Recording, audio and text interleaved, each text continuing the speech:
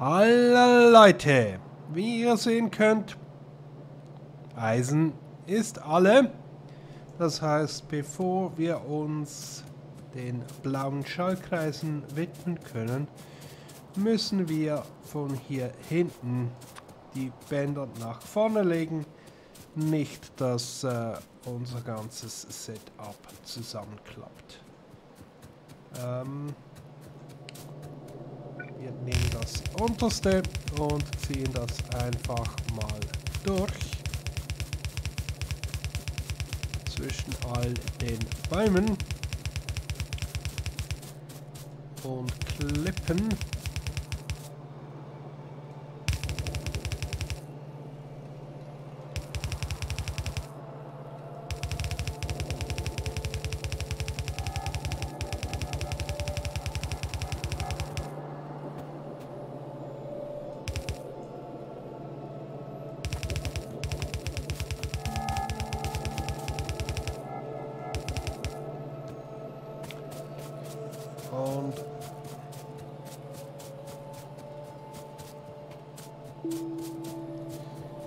Wir packen das provisorisch mal hier ran mit einem bevorzugten Eingang links. Das heißt, alles, was von der alten Schmelze noch kommt, das nehmen wir von dort.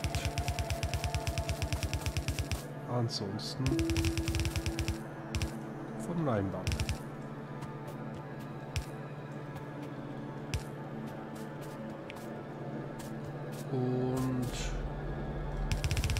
dann legen wir auch gleich nochmal ein Band für Kupfer. Und das ist wahrscheinlich das nächste, was uns ausgeht. Auch hier bevorzugter Eingang hier von der alten Schmelze, sodass wir die Erze aufbrauchen, die noch in unserem Feld drin sind.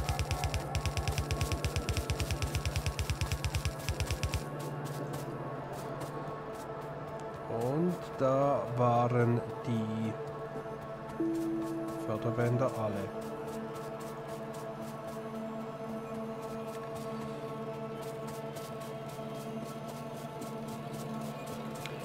Und vielleicht müssen wir uns dann auch darum kümmern, dass wir ein Steinfeld anschließen, dass wir genügend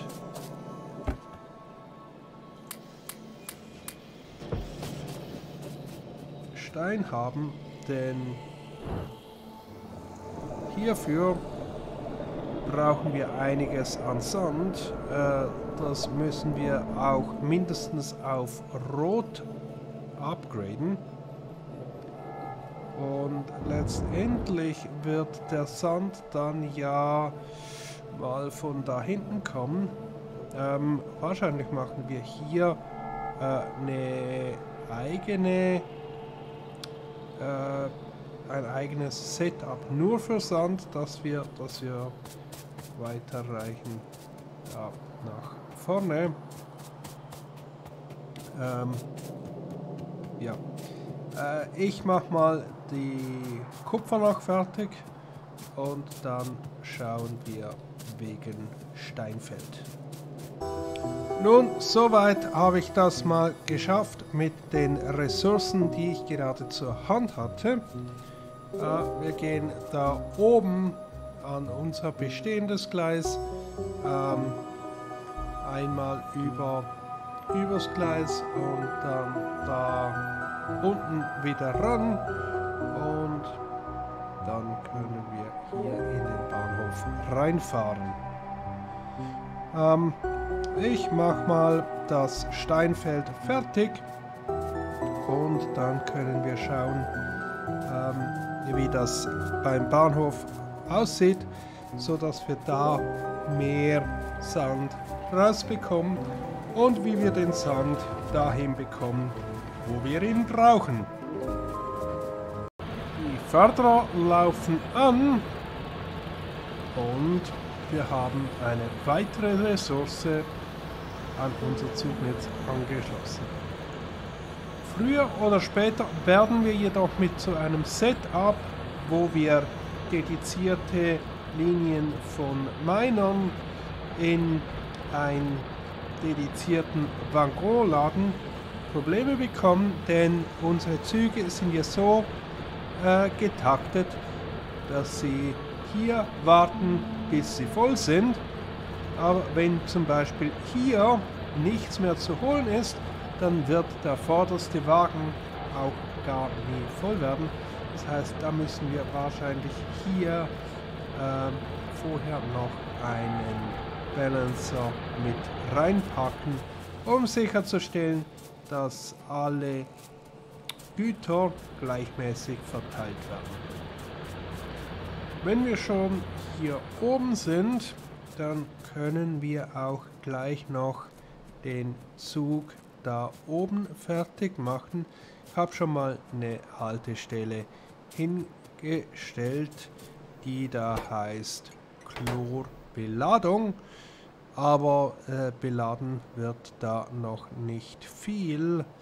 Ich brauche Pumpen, Pumpen, Pumpen, Pumpen. Da, hab genau zwei. Das reicht. Ähm,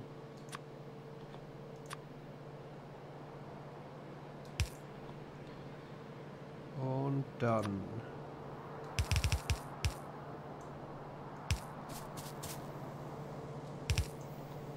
Hängen wir das einfach mal hier ran. Und... Voila. Wie wir diesen Zug dann äh, fahren lassen, äh, müssen wir auch noch schauen. Denn wir werden mehr als eine Mine haben. Ähm, wo wir wo wir den äh, Zug hinschicken müssen. Ähm, und wir wollen sicherstellen, dass alle Minen die gleichen Chancen haben.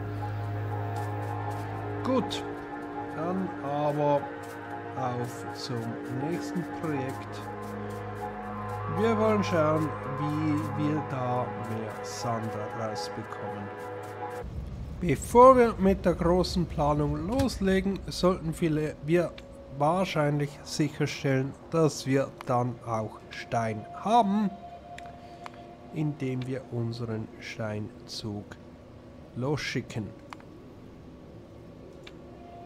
Leeres Frachtinventar. Und weg ist er. Gut. Dann denke ich, hier oben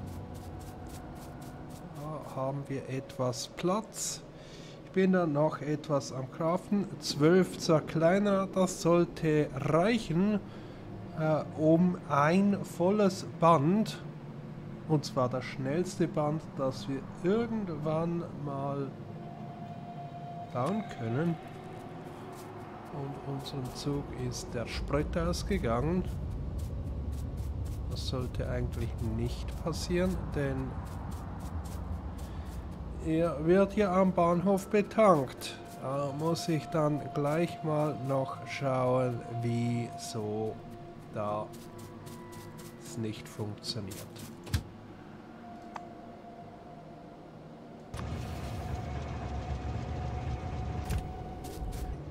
Und da haben wir das Problem. Der Greifer für die Kohle ist nur eine Blaupause und kein effektiver Greifarm. Da geht dann natürlich auch höchstens virtuelle Kohle rein. Ähm, ich muss noch etwas warten, bis ich die Zerkleiner habe. Aber ich kann hier schon etwas äh, ausholzen. Und dann müssen wir schauen, wie wir ein Layout hinbekommen, das vernünftig ist, so dass wir ähm, viel Stein reinschieben können und noch mehr Sand rausbekommen und das Ganze auf die Bänder verteilen. Für dieses Konstrukt werden wir uns eines Grundsatzes bemühen. Er kommt aus der Lehre, klingt in erster Linie mehr nach Geschichte, denn er heißt Divide and Conquer, aber er ist äh, in der Informatik zu Hause, wo man ein großes Problem aufteilt, nicht in kleinere Probleme, sondern gleichmäßig in zwei Probleme, die gleich groß sind und dann die äh, quasi parallel abarbeitet. Und was wir hier machen ist, hier werden wir einen Eingang haben, hier in einen Crusher reinschieben. Dann haben wir hier einen Ausgang, den wir hier auf ein Band legen. Und dann spiegeln wir das Ganze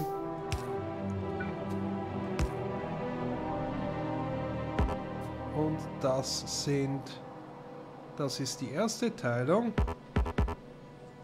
und das Ganze machen wir nochmal und mit den 12 Crushern, die ich habe, den 12 Zerkleinern, heißt das, wir werden dann am Schluss sowas haben. Und natürlich sind mir die Teiler ausgegangen. Und so wie es aussieht, wählen wir als nächstes die äh, Förderbänder aus. Ähm, das heißt, ich decke mich da mal frisch ein.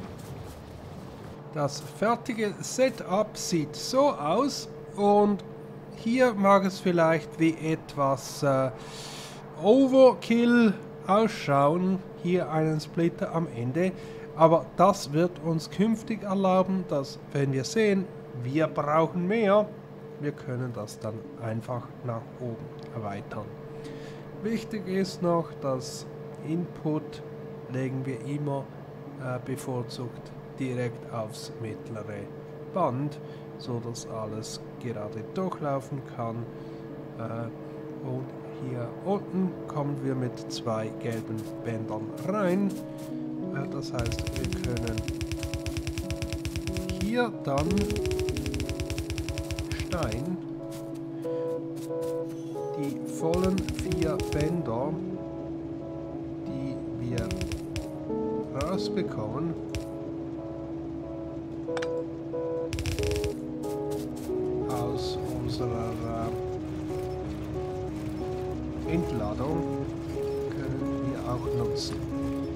Dafür wollen wir aber hier auch noch einen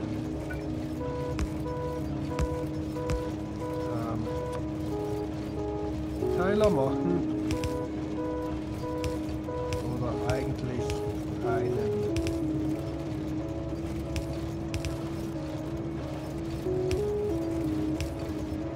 Ein Mechanismus, um sicherzustellen, dass jedes Band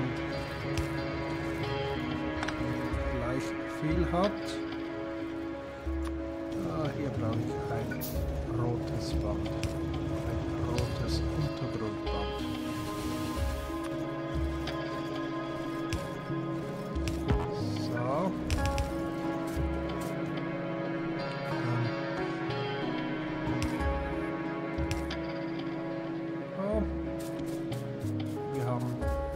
Bändern Stein drauf.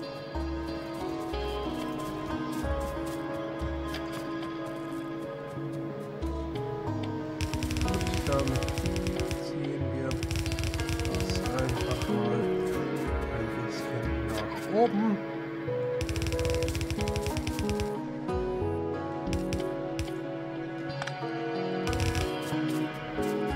Bis uns die Förderbänder ausgehen. Da können wir das dann vielleicht mit einem roten Splitter und roten Bänder zusammenfassen und rüberführen. Ähm, wir werden aber zuerst sowieso noch das Steinfeld da ähm, abernten und drum, darum habe ich da auch voll mit äh, Meinern platziert, damit da etwas vorwärts geht. Das heißt, wir werden den Stein hiervon oder den Sand aus dem Feld hiervon bevorzugt nutzen.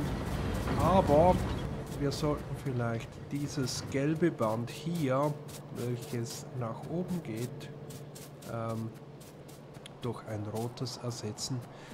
Das rote Band, das ist das schnellste, was wir derzeit machen können. Blaue Bänder sind noch hinter künftiger Forschung versteckt und alles, was wir machen können, ist mit den aktuellen Forschungskarten noch diese zwei neuen forschen. Was ich aber noch nicht gemacht habe, ich möchte zuerst die, äh, die äh, blauen Schaltkreise automatisieren. Und da haben wir das Band von hinten am bestehenden Band dran, äh, wo wir auch nun auf Rot sind. Und so wie es aussieht, da noch ein gelbes Band dazwischen.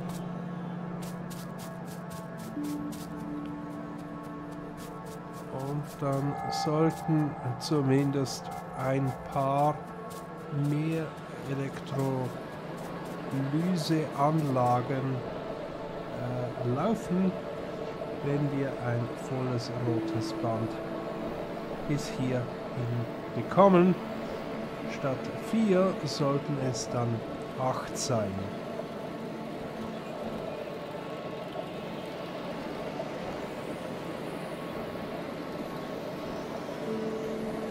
Ja, das sieht gut aus. Das heißt, für alle bräuchten wir doppelte Geschwindigkeit vom roten Band. Das sind 60 Items pro Sekunde. Unsere Verschmutzung nimmt zu. Da hinten, da geht es schon nahe an die nächsten Nester ran. Und hier unten hängt sehr stark davon ab, wie sehr wir Kupfererz fördern. Wie sieht es denn hier aus? Der Zug wird beladen. Aber wir haben noch nichts gefördert. Wie voll ist denn der Zug?